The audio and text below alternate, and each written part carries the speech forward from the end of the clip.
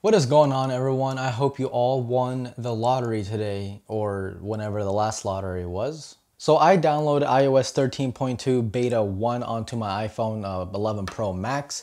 Still can't get used to that name, oh well. But this update brought something that I was super excited about and it's the feature that I saw during the keynote, which is Deep Fusion. So to make it quick, Deep Fusion pretty much takes four really quick pictures and then it takes one long exposure, and then it takes four uh, secondary images. Pretty much, and then in, in, in a span of a second, the phone goes through 23 million pixels and pretty much picks the best one out of each pixel and puts it into the image, literally in a blink of an eye. It's, it's mind-blowing.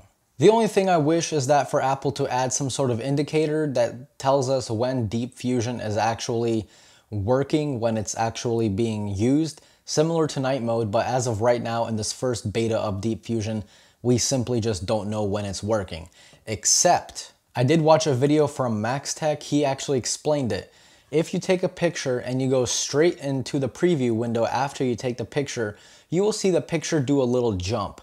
If you see that jump, that means it is deep fusion. That jump pretty much means that the image is processing. So if you do not see the jump, you most likely are using night mode or you're shooting in very bright daylight. So for this comparison, I'm going to be using my trusty Note 10 Plus alongside the, obviously, iPhone 11 Pro Max. So let's get started.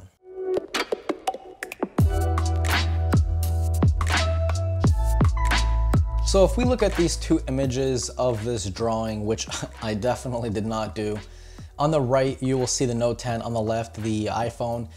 Again, at face value, you guys, some of you might already notice a difference, but if you guys don't, let's take a closer look. If we zoom in to the root of the plant, you can see incredible detail on the iPhone. I mean, uh, you can, you can even see the, the, the little uh, indentions of the, uh, of the paper. You can see more of the root. The, the stem is just uh, very, very sharp. I mean, this isn't, this is a drawing, so, you know, take that for what you will.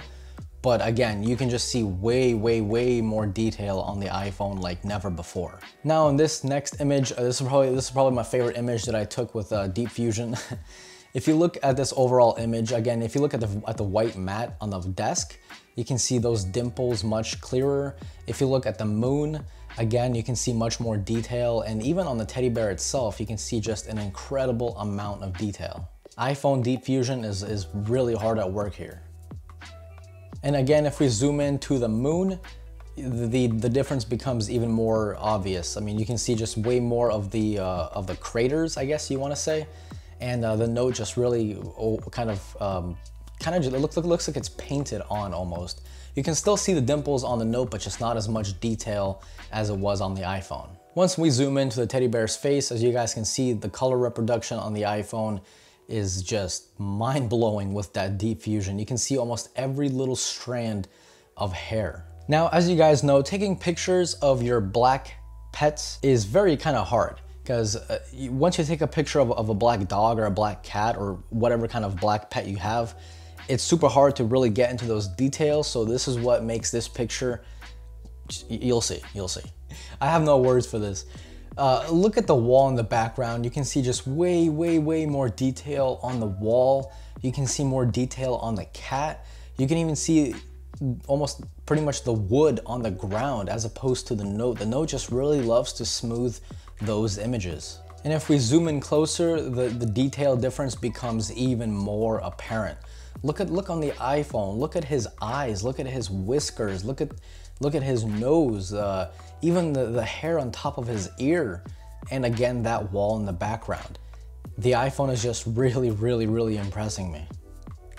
Now in this next image uh, of these light switches, you can see much more detail again on the iPhone's wall photo, on, on, the, on the wall in the background. You can see every little, every little indention, every little just detail.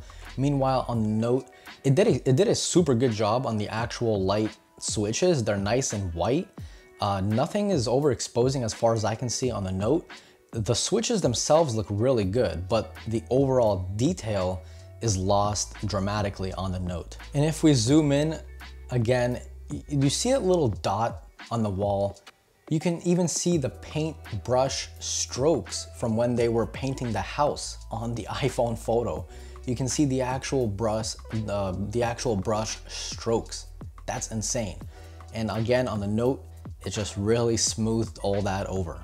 So guys, that was just a quick little test of uh, Deep Fusion. It's still in its first beta and it's performing this good.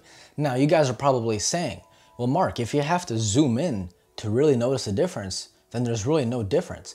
Wrong. You can, I mean, listen, I'm looking at this on a 5K monitor, so I can definitely tell a difference. But even when looking at it on a 1080p screen, well, a little more than 1080p technically, on the iPhone, or even more so if I look at it using my Note 10 Plus, using Quad HD, you can definitely tell a detail difference without even zooming in. Deep Fusion is one of those things that it's not supposed to make your photos just slap you in the face from being amazing. It's just supposed to take something that's great and make it just a little bit better. And that, and, and I mean, you, you guys saw it for yourselves.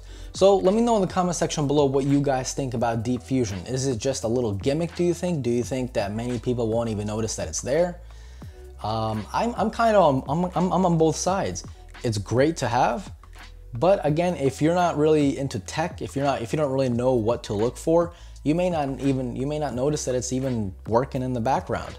But when you take a little deep dive into it, you can definitely tell a difference. And guys, I am still doing the giveaway. I'm giving away a phone when I reach 10,000 subscribers on, on Instagram. More information will be in the description of this video, so be sure to read that. This was Mark from Mark's Tech. Adios.